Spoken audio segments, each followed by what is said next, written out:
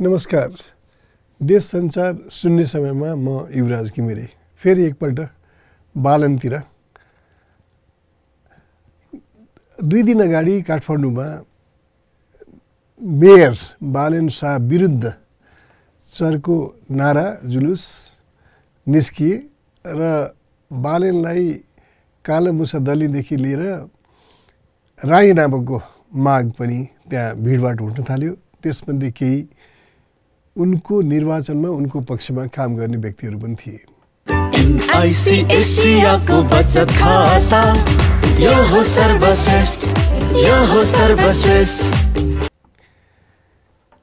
बालन शाहले यो बिचमा केही साहसी भनौँ दुस्साहसी कामहरू गरेका छन्।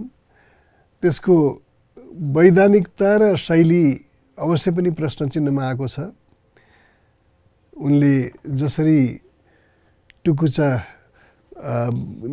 खोलाको माथिबाट माथिका संरचनाहरूमा डोजर चलाए र अन्यत्र पनि डोजर चलाए अथवा केही ठाउँहरूमा गएर उनले पसलहरू पनि उनीहरूलाई त्यहाँबाट हटाए।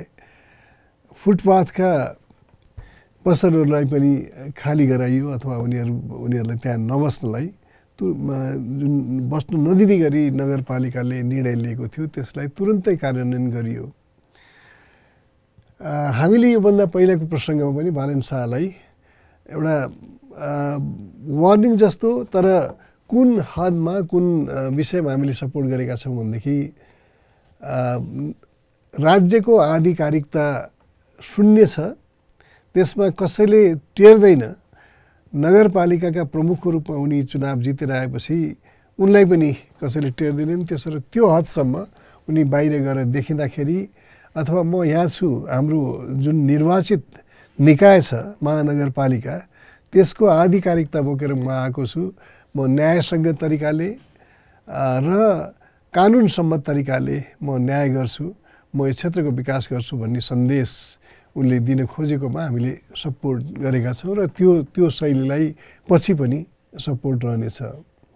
तर जब व्यक्तिहरू आतङ्कित हुन थाल्छन् र मेयर र नगरपालिकाको संरचनाले उनीहरूको कुरा नसुनिकन तत्काल न्याय अथवा इन्स्टेन्ट जस्टिस दिने कोसिस गर्छ इन्स्टेन्ट जस्टिसमा अथवा त्यो तुरन्त न्याय दिने हतारमा कहिले कहिले के हुन्छ भने न्याय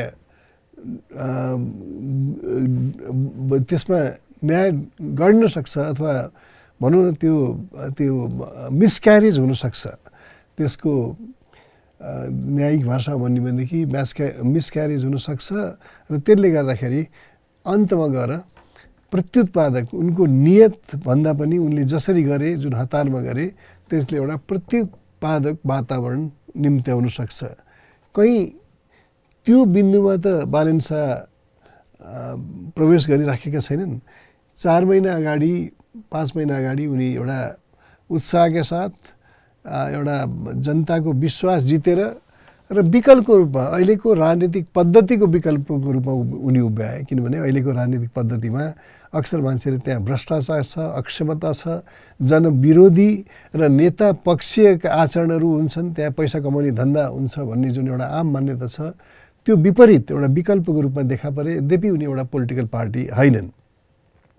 उनी स्वतन्त्र रूपमा जितेका हुन् र बालन शाहले अहिलेसम्म आफ्नो राजनीतिक अथवा दलीय आबद्धता स्पष्ट नगरे पनि त्यो नगर्नु उनको छुट हो तर उनले अर्को के पनि गरेका छैनन् भनेदेखि उनको पोलिटिकल अन्डरस्ट्यान्डिङ र पोलिसी के हो त्यो स्पष्ट हुन सकेको छैन। उनी जान्छन् बुलडोजर लिएर ठाउँ ठाउँमा म तोडफोड गर्छु अथवा न्याय विपरीत नियम विपरीत मिचिएका ठाउँहरूमा खाली गर्छु। पार्किङ स्पेस पार्किङ स्पेसकै लागि प्रयोग हुनुपर्छ। काठमाडौँमा आवा आवागमन सहज होस् भन्ने खालको जुन उनका सन्देशहरू छन् त्यो स्वागत योग्य भए पनि उनले उनको पोलिसी के हो? पोलिसी निर्माण भएको छैन र पोलिटिकल एफिलिएसन यतिसम्म कि मैले पोलिटिकल एफिलिएसन भन्ने कन्टेक्स्टमा एउटा मेयरले मुलुकमा वैदेशिक हस्तक्षेप लगायतका विषयहरूमा ऊ कतिको जानकार छ त्यसबारे उसको के मान्यता छ के अवधारणा छ त्यो उनले आजसम्म भनेका छैनन्। र विकास भन्ने कुरा आइसोलेसन हुँदैन। नीति के हो थाहा छैन तर नीतिसँग नजोडिएको विकास हुँदैन। नियमसँग नजोडिएको विकास हुँदैन। त्यस्तै बृहत राजनीति र मुलुकको जुन स्वतन्त्र सार्वजनिक ढाँचा हो त्योभन्दा त्यस त्योप्रति निरपेक्ष रहेर पनि विकास गर्न सकिँदैन। त्यसमा पनि एउटा इन्डिपेन्डेन्ट अथवा स्वतन्त्र व्यक्तिले किनभने विकासमा विभिन्न पक्षहरू हुन्छन् विभिन्न समूहहरू विभिन्न मन्त्रालय अथवा विभिन्न विभागहरूसँग सहकार्य र समझदारी बनाएर न्यायोचित विकासको पनि एउटा न्यायिक न्यायोचित हुनुपर्छ भन्ने मान्यता हो। त्यसमा सायद बालनले ध्यान नदिएकोले आज यो परिस्थिति आएको छ र यसमा एउटा पक्ष एउटा कक्षमा हामीले एउटा विषयमा हामीले बेनिफिट अफ डाउट दिनुपर्छ बालन शाहलाई। त्यो के हो भनेदेखि उनी वेस्टेड इन्ट्रेस्टका पार्ट होइनन् अथवा निहित स्वार्थका उनी हिस्सा होइनन्। ठुल्ठुला पार्टीहरू चाहे त्यो नेपाली कङ्ग्रेस होस् चाहे एमाले होस् चाहे माओवादी उनीहरूले निहित स्वार्थसँग साँठगाँठ गरेर सहकार्य गरेर साझादी साझेदारी गरेर अथवा नदेखिने लगानी गरेर पैसा कमाएको छन्। त्यसमा अनियमित तरिकाले सरकारी जमिन र सम्पत्ति हडप्नेहरूसँग पनि उनीहरूको मितेरी छ। त्यसलाई उनले टार्गेट बनाउ गर्दाखेरि बालेन शाहले त्यसलाई निशाना बनाउँदाखेरि पक्कै पनि ती दलहरूका व्यक्तिहरू चिडिएका हुनसक्छन् र त्यसका केही प्रमाणहरू पनि छन् पहिला। तर त्यसमा सबै हतारमा गएर उनले बुलडोजर चलाउँदाखेरि के भने कतिपयलाई अन्याय पनि हुनु हुन सके सकेको हुन्छ। कतिपयले न्यायिक निराकरण खोज्ने अवसर पनि नपाइकन त्यो उनीहरूको सम्पत्ति एकदम सानो सानो टुक्रामा खण्डित भइसकेको हुन्छ। त्यसले गर्दाखेरि त्यो संवेदनहीनता र अर्को कुरा हामीले पहिले पनि सजेस्ट गरेका थियौँ सायद त्यो के भने दसैँ तिहार चाडबाडको समय छ। त्यसमा एउटा समझदारी गरेर उनीहरूलाई उनीहरूसँग समझदारी समझदारी गरेर उनीहरूले सामानहरू झिकाइसकेको अवस्था। त्यो अवस्थामा दसैँ तिहारपछि यो चाडबाड सकिएपछि उनीहरू ले नगरपालिकालाई विधिसम्मत तरिकाले र योजनाबद्ध तरिकाले आफ्ना कामहरू निर्माण कार्यहरू अथवा त्यसलाई व्यवस्थापन सहरी व्यवस्थापनमा जाने वातावरणमा सकारात्मक योगदान दिने शर्तमा पनि उनीहरूलाई कन्भिन्स गर्न सकिन्थ्यो होला तर त्यो कुनै प्रयोग नगरिकन एकैचोटि बुलडोजरको मुनि बुलडोजर मुनि आम जनता पर्दाखेरि त्यसले एउटा प्रत्युत्पादक वातावरण ल्याउँछ। र अर्को कुरा बालन शाहले त्रिसठी यता जुन राजनीतिक दलहरूले गरे भुल त्यसलाई दोहोऱ्याउनु हुँदैन। त्यो के थियो भनेदेखि त्रिसठी यता त्रिसठीमा भएको राजनीतिक परिवर्तनपछि हाम्रा म तिनीहरूलाई बाह्र लोकतन्त्रका हिमायती दलहरू भन्छु। ती दलले के भने पुरानो राज्य थिँदै थिएन नेपालमा। नेपाल त त्रिसठी यता जन्मिएको हो। त्यसबाट त्योभन्दा पहिलाका राज्यलाई अथवा त्योभन्दा पहिलाका सरकारहरूले गरेका कामहरूलाई हामीले मान्यता दिनु हुँदैन भन्ने खालको एउटा मेसेज उनीहरूले कतिसम्म भनेदेखि त्रिसठी पूर्वका राज्यका तर्फबाट दिएका मेडलहरू विभूषणहरू ती सबैलाई समेत उसले ती सबैको मान्यता समेत खोस्यो त्यसले गर्दा के भन्छ राज्यको जुन अविच्छिन्नताको सिद्धान्त भन्छौँ हामी यो राज्य रहिआएको छ सरकार परिवर्तन होला राजनीतिक परिवर्तनहरू परि राजनीतिक व्यवस्थाहरू परिवर्तन होला तर राज्य राज्य नै हो नेपाल हिजो पनि थियो आज पनि छ र भोलि पनि रहनेछ भन्ने मान्यता जुन हो त्यो मान्यतालाई यी आठ दल बाह्रवधी लोकतान्त्रिक शक्तिहरूले परिवर्तन गरे र बालन पनि कतै हिजोको सरकारले गरेको अथवा हिजोको महानगरपालिकाले गरेको कामहरूलाई म केही पनि मान्दिनँ भन्ने कुराहरूमा कतै गएर संरचनाहरू भत्काउने क्रममा पनि।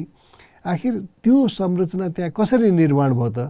त्यो बेलाको न्याय के थियो? त्यो बेलाको कानुन के थियो? त्यो बेलाको त्यो निर्माण नियमित थियो कि थिएन? त्यसलाई परिवर्तन ल्याउन सकिन्छ भनेदेखि त्यो गर्ने छुट हुन्छ तर कानुन बनाएर योजना बनाएर गर्नुपर्नेमा एउटा इम्पल्सिभ हिसाबले गएर बुलडोजर चलाउँदाखेरि त्यो प्रतिवादक प्रत्युत्पादक हुन जान्छ र त्यो सायद एउटा हुन त अघि पनि मैले भने बालन कुनै राजनीतिक शक्ति अथवा कुनै राजनीतिक सङ्गठनको आधारमा आएका होइनन्। उनी ज राजनीतिक अहिलेको व्यवस्थाप्रतिको राजनीतिक अहिलेका नेताहरूप्रतिको वितृष्टका कारण स्वतन्त्र रूपमा जितेका हुन्। तर उनी त्यो स्वत त्यसरी आएको व्यक्ति एउटा विकल्पको रूपमा दलीय विकल्प नभए पनि विकल्पको रूपमा देखा परेको व्यक्ति यति छिटो रिजेक्ट हुन जाँदाखेरि अथवा उसले जुन समर्थनमा आउन सक्ने व्यक्तिहरू हुन् तिनीहरू विरोधमा जाँदाखेरि एउटा प्रतिकूल परिस्थिति उसले भोग्न सक्छ।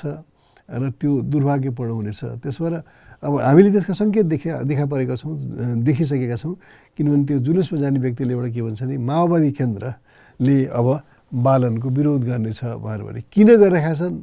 थाहा छैन। माओवादी केन्द्र जानुपर्ने आवश्यकता के भयो हुन त? भेडासिङमा चालिस वर्ष पुरा चालिस वर्ष पुरानो सामुदायिक भवनलाई बुलडोज गरेपछि यो परिस्थिति उत्पन्न भएको हो।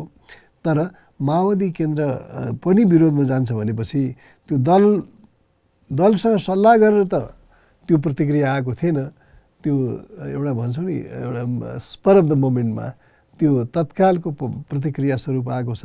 त्यही पनि र अर्को कुरा उनलाई वार्न गर्नेहरू पनि धेरै छन् कि ठुला जुन स्थापित पार्टीहरू छन् निर स्वार्थवाला पार्टी छन् तिनीहरूले एउटा अवसर पाउन साथ बालनलाई लखेट्छन् भन्ने पनि थियो। त्यसो भएर उनी थप चलाक थप सतर्क हुनु पनि आवश्यक छ।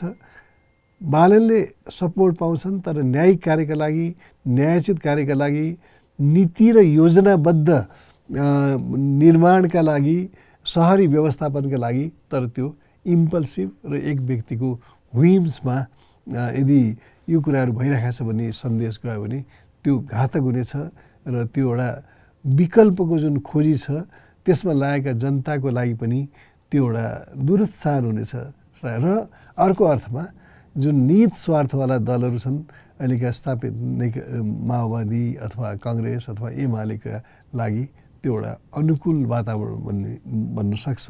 त्यसो भएर अरूभन्दा सायद बालेन सानै यसमा बढी सतर्क सचेत र सकारात्मक हुन सक्नुपर्छ र एउटा यो अहिलेको जुन प्रसङ्ग आएको छ त्यसलाई एउटा नमिठो प्रसङ्ग र राम्रो लेसनको रूपमा यदि उसले लिन सक्यो भनेदेखि भोलि सबैको सहयोग लिएर उसले महानगरपालिकाको विकास र व्यवस्थापन ज्यादा सक्षम रूपमा गर्न सक्नेछन्।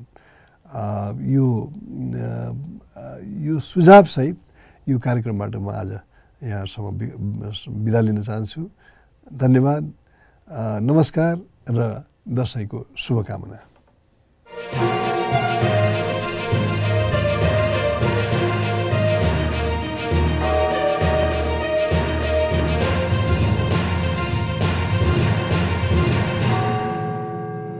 महत्त्वपूर्ण र समसामयिक विषयमाथि विश्लेषण र टिप्पणी।